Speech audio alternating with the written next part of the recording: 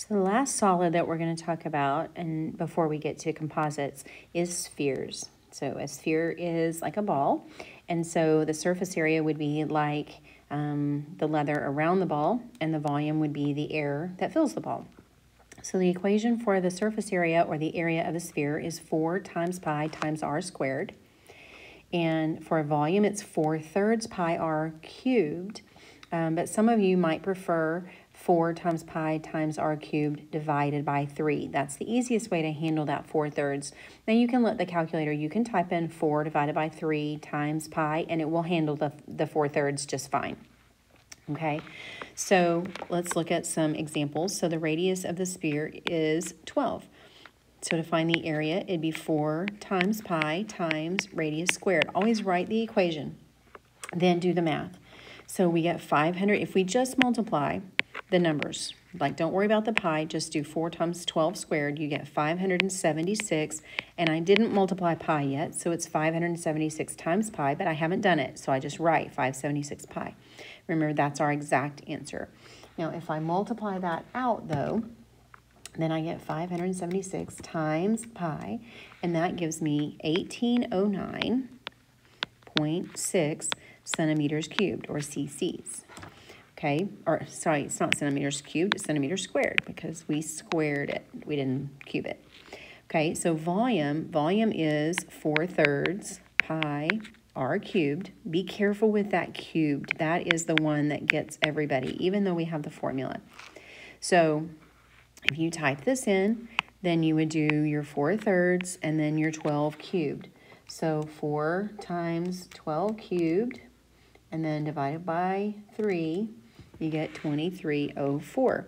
So switch back to the pen, 2304 pi, because I didn't multiply the pi. But if I did, I'd multiply the pi out, then I get 7238.2 centimeters cubed, and this time that is cc's. cc stands for cubic centimeter. And that is the cc's like you hear like um, for motorcycles and cars and stuff like that when you're using when you hear about cc's, that's cubic centimeters. Okay, so the area of a sphere is 100 pi. Okay, so the first thing, as soon as I see the area of a sphere, I'm going to write the equation. Area equals 4 pi r squared for a sphere. So now I'm going to plug in what I know. I know that the area is 100 pi, so I'm going to put 100 pi, and then I'm going to say equals 4 pi r squared. Well, I want to get r squared by itself. So I'm going to divide by 4 pi and divide by 4 pi. Now don't worry about typing the pi's in on the calculator because all of that's going to cancel out. 100 divided by 4 is 25. So 25 is r squared. Remember, r squared means something times itself. So what times itself is 25? Or, if you want to think about it like this, take the square root. So the radius is 5. The radius is 5 centimeters. If the radius is 5 centimeters, then I can go find the volume. 4 thirds pi r cubed. So I would do 4 times 5 cubed divided by 3. That comes out to be a yucky number. Um, and so what we want to do is just leave it alone. For most of the time you're going to be asked to round, so it'll be fine. I just want you to see um, what it looks like. So we would get 500 over 3, so 500 pi over 3. Um, so we would multiply the 4 times the 5 cubed, because when I divided by 3, it made it ugly, 166.666666. Um, so if I do 500 times pi, and then divide by 3 to get my approximate answer, I get 523.6 centimeters cubed. Okay, so we have the diameter of a standard basketball is nine and a half inches. That's the diameter.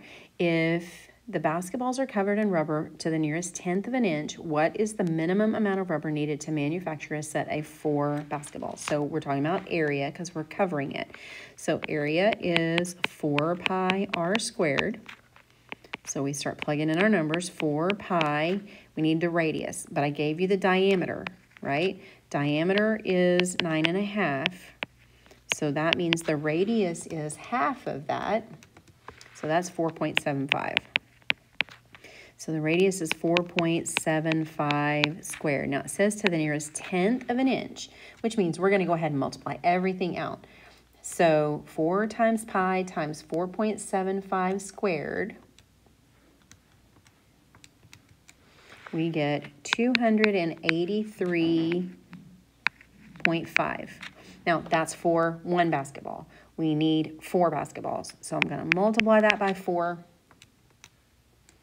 and I get 1134.1 inches squared.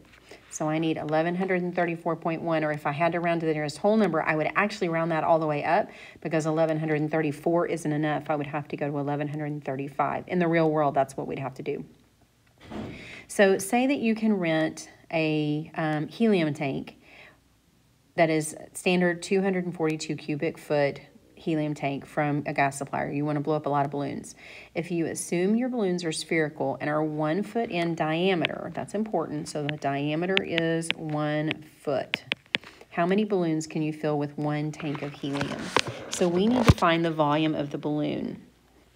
Okay, so the volume of the balloon would be 4 thirds pi r, right? So remember, r would be half a foot, so it would be 0.5 cubed. So we would do 4 times pi times 0.5 cubed, all divided by 3, and we get that the volume of one balloon is 0.524. Okay, now if I if my helium tank has 242 cubic feet and each balloon takes 0.524 cubic feet, then I can take 242 and divide it into 0.524 increments. And I would get that I can fill 462 full balloons.